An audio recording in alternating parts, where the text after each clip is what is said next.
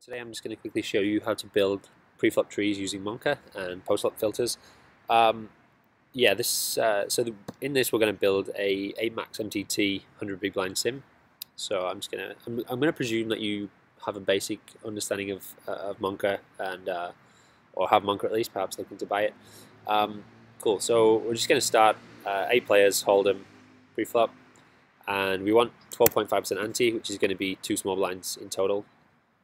So yeah, um, and each player is going to have 100 big blinds.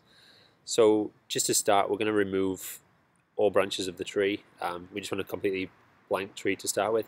Uh, so there's a couple of options for entering bets here, um, which so we can enter them just in small blinds here. So let's say we want to have an opening size of 2.5x. Um, so we're going to raise by three small blinds. So what that means is uh, raise this bet here by three small blinds. So it's going to be a total of five, uh, which is 2.5x. So we want to add that. Um, and then we want to say the 3 bet is going to be 17.5, um, which would have to be a percentage because we can't raise, uh, we can't add 12.5 big blinds here. Um, so we're going to say he raises 13 small blinds of this bet, for example. Um, and then you can see here that we, have got a lot of branches that we don't need. We don't need any call calls of 3 bets, etc. Um, and we're going to then need to apply this uh, under the gun plus two's action, under the gun plus plus two's three bet um, here, and then there's nothing in any of these branches. So there's a lot of branches to make, uh, obviously, as there's eight players in the game. Um, so we, we really don't want to be entering these manually. Um, we want to make use of, of preflop filters, um, filters in general, but in this case for preflop. So what filters allow us to do is basically automate entering all of that uh, all of those branches, uh, but we can only enter them in percentage um, or in terms of or in min. So, which is actually fine for our case because a lot of the bet sizes we're going to want to use, we'll be using, we would want to use percentage anyway. So because we can't enter fractions of small blinds, it's going to restrict us to one small blind uh, actions. Um, so we're going to want to actually use uh, use percentages regardless. So what we're going to need to do is calculate the raise first in 3 bet, 4 bet sizes in percentage, and then build a filter around that. Um, so we can, there's going to be quite a lot of these filters. So what it's useful to do is just have a spreadsheet like this, for example, um, that's just going to calculate the raise first in 3 bet, 4 bet sizes for the filters. So uh, you can see if we change to 3x, then the, the raise first in size is going to be 57 and 43 otherwise, and then we can change the sizes cool. Um, so we'll just, I'll just quickly show you. So we want to build 43% uh, open size, which translates to 2.5x, um, and 83 and 51. So I'll just enter that. 51, cool. And we only want it to apply to preflop. Sweet. And no call, one call call, so the original raiser gets to call.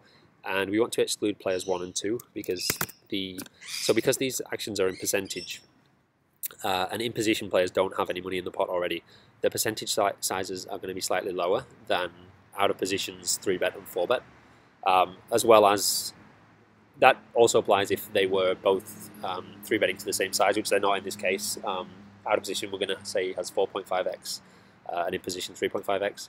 Um, but if they are the same size, it's still you still need to build these separately as the percentages would be different because they have money in the pot already.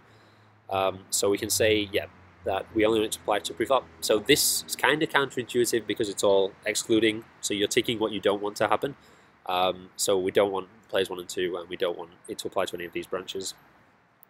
Um, cool. Uh, so just apply that, and now we can see we have raise first in three bet and four bet um, for each player already complete, um, which is awesome. So what we're going to need to do basically is build a filter for each of these for our game. So our game is going to be this 8 max MTT sim.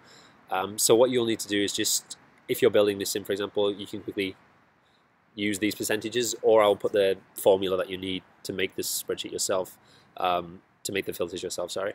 Um, yeah, so we're going to want to build each of these filters. Um, so for that I kind of cheat a little bit because I've just wrote some software to do that. Um, so yeah, we're gonna say so this this is just a quicker way of basically building all those filters. So it's just going to build all the filters I need for this game, um, but it's not doing anything like anything you can't just do by hand. Um, it's just quicker for um, yeah having to build a lot of them. It's going to make my life easier.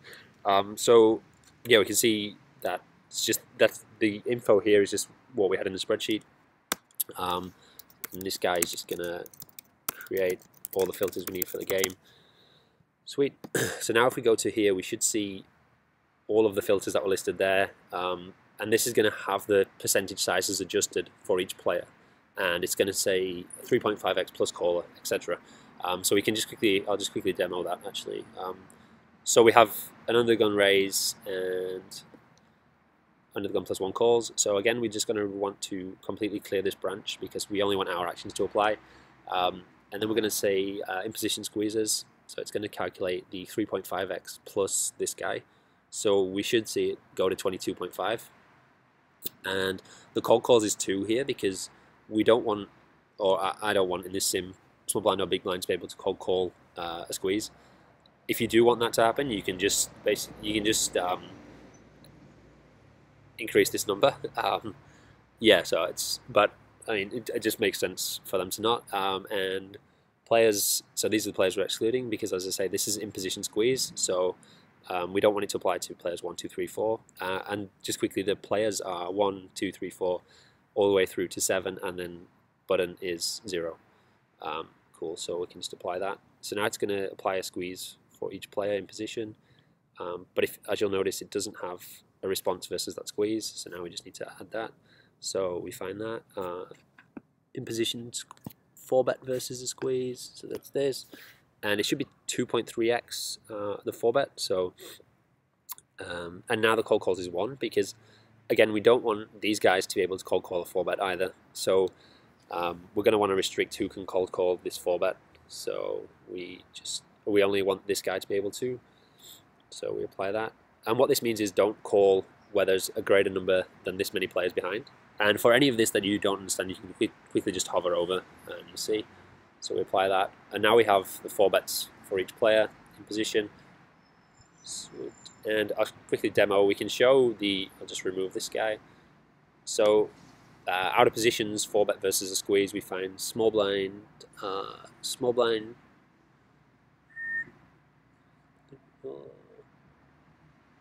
oh, it's in here. Yeah, here we go, sweet. Uh, so now we're going to want to exclude players 2, 3, 4 because the big blind and the original raiser have a different amount of money in the pot than the small blind, whereas in position all had the same, which was 0. Uh, the sizes are going to be slightly different for these guys. So uh, we just apply this, and now we have a 4 bet of 2.75 out of position versus this, which we can quickly check, and I hope it's right because, yep, sweet. Um, yeah, so now the uh, out of position can 4-bet, and the big blind should not be able to, so this should be awesome. Um, so now we can have big blinds 4-bet versus this. Uh, big blind. Cool. Alright, nice. Um, so yeah, as you can see, it's slightly larger, 68% versus 67, just to account for this. Um, and we want to exclude small blind, although it's not too relevant now because we've already passed that node. Um, yeah, and exclude these guys because they have more in the pot. So cool. So now, yeah, so now we have um, in position raise first in, 3 bet, 4 bet, and uh, a demo of what to do versus a squeeze. So cool. So now we just repeat that basically for each player. It's still it's still going to take quite a while because there's eight players in your game, uh, and obviously the more calling nodes you have, the larger your game tree. Um, so that's pretty much pre-flop covered. Um, once you have a filter that makes sense for your situations, then you can basically just apply those. Uh, and it's going to stop you making a lot of mistakes because there is a lot of room for error uh, in these large trees. So yeah, you're going to really want to make heavy use of filters. Um, and so yeah, I just yeah I use the the software for uh, to build all the filters I need, but there's nothing that in there that you can't just do by hand for sure. Um, so now I'm quickly going to show you post flop. Um, so for post flop, we're going to want to um, generally have different strategies in single raise pots, three bet pots, four bet pots, etc. Um, so we're going to try. We want to isolate and find out where they are, where those spots exist. uh, in our game tree without having to actually go to each branch. So we want to be able to apply them at this root node level rather than finding each of them, which is just going to be a pain in the ass. so we kind of need to define a way, define what a single raised pot is uh, in terms that we can use a filter. We can use in a filter, sorry. Um, so let's say we know, for example, that uh, in a single raised pot with under the gun, or well, any in position player, um, and a big blind call, we know what we do know that there's going to be two players in the pot. Um, we know the stack to pot ratio is going to be 195 over 13, say, which is 15. Um, yeah, so okay, so we know that it's going to be a 15 stack to pot ratio uh, with two players in the hand, and so we can just do that. Uh, let's say in this pot we want to see bet 33% and raise 50%, so we exclude pre-flop this time and flop. We exclude donk bets and cold call irrelevant because there's only two players. Um, so we want to exclude a player count. Uh, we want to exclude situations sorry, where there's more than two players in the hand. The reason for that is the SPR, um, it's not going to be as reliable then because we really want to be, uh, we really want to make sure it only applies to this unique scenario of uh, a single raise pot versus big blind because then we'll do the same thing for a single raise pot versus in position. Um, so we want to have as much restriction around that as possible so we can exclude players, um, any of so exclude actions with any of these players, um, or we can just click this guy for shorthand, um, and we know that it's going to be uh, 13, the stack spot, no 15, sorry, the stack spot ratio. So I should just be able to enter it in as 15 and 15, but for some reason it doesn't work. so we apply. Uh, this should this should basically say um, it should find this scenario and this scenario only for each player, for each in position player versus big blind, and say I want a 33% uh, c-bet. So, sweet, so we'll just save that as uh, c-bet, SRP, big blind. Cool, and now I can just apply it here, and then it should find every situation where it's a single raise pot versus the big blind. And then what we'll do is just do the same thing for in position and three bet pots. So let's do that. Uh, cool. So now if this works, it should say check 33%. Awesome. And right, uh, the reason there's all in there and not 50%, the um, the the settings uh, basically define which bets are allowed and which bets aren't allowed. So it's going to exclude entering bets based on these threshold settings. So you're going to want to play around with them for what makes sense for your game type. Um, so for example, um, flop in position, it's going to automatically add all in bets um, for in position if the SPR is lower than 8, uh, and out of position if the SPR is lower than 13, which is a bit extreme, so you probably want to change these. Um, cool, so that's single raise pots versus the big blind. And now we can just do it for all of the single raise pots. Uh, I'll just give you a quick demo. So what's going to define a single raise pot without the big blind in it is going to be just the same thing, two players, um, with a stacked pot ratio of what would be 15. Uh, sorry, no, it wouldn't. 13, I guess. Yeah, 13.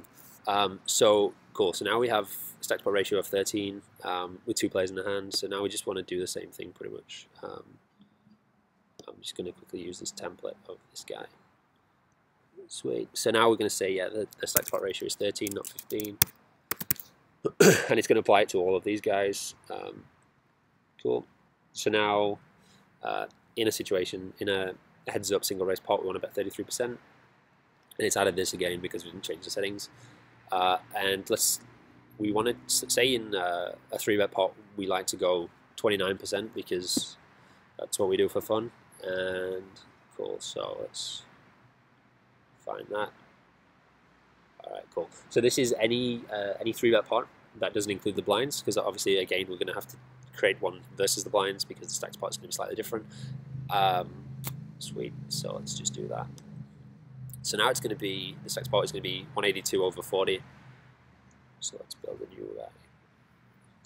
And let's say I want to bet 29% in these spots because it's a demo and players. Uh, yep, I only want it to apply. I, I want to exclude all situations where um, there's more than two players in the pot.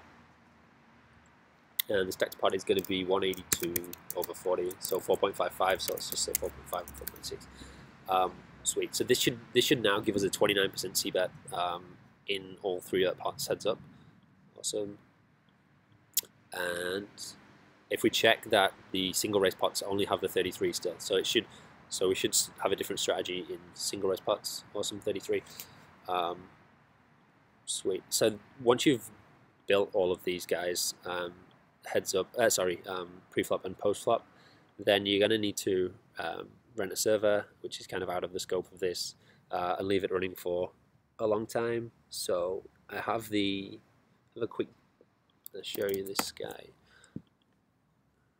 Cool. No Wi-Fi.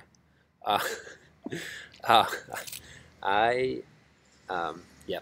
I might pause this actually, and then reconnect when I have Wi-Fi. That'll be better. All right.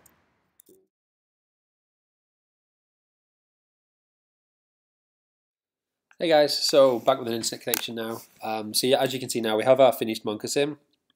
So all the branches are filled in. We have the calling ranges, 3-bet, 4-bet, etc. Um, for each action. So now what we're going to need to do is run it. Um, and due to the size of these sims, we're going to need a server to do so. Um, so the options generally are going to be, um, you can use Contabo for 256 gig or less. Um, but it's unlikely you'll be able to fit uh, large sims on 256 gig unless you um, reduce the abstraction settings or uh, cut the tree down to ha have fewer active players. Um, so Contabo will do for 256 or below, and then you're going to want to use OVH, um, so OVH.com for sims above 512, well, sims of 512, and then AWS for larger, or Cherry servers is also a good option. So at Range Converter, currently we have five uh, five OVH servers, so five 512 servers, um, all occupied at the moment with different sims. Um, so I recommend to use Linux on each because uh, there's no license fees and it's generally very stable. Um, so as you can see here, we have I have four at the moment with on Linux, and then I have one running for oh nope, and I have one running uh, on Windows. Um, so these are coming soon. Um, so if we just click through to this 8max MTT sim, so as you can see, it's been running for quite a while now. Um, yeah, 578 hours. Um, so I'm going to leave this for probably quite a while longer, um, just because it has a few multi-way calling spots, um, and it's only at 17 iterations at the moment, 16 iterations. Um, so as you can see now, it's starting to populate all those ranges um, for each branch of the tree. Uh, and generally, the raise first in 3 bet, 4 bet, 5 bet ranges will be converged pretty quickly. Um, but the larger the trees are, there's going to be more calling ranges, especially in MTT where there's no rake uh, and antes.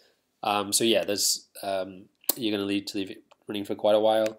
Um, in terms of knowing when it's finished, you're going to have to want you're going to want to monitor the multi-way calling spots. Um, so when they stop changing, when they've converged, you'll know that you can pause the sim. Um, yeah, so if you don't want to go through this process of building and waiting a month, uh, this solution and all the other solutions that I've just shown you that we're currently building are available on the website uh, in all these different formats. Cool. Okay, thank you. Thanks for listening. If you have any questions, feel free to get in touch on Twitter. So it's at Range Converter or via the website on the contact form at uh, rangeconverter.com. Thanks.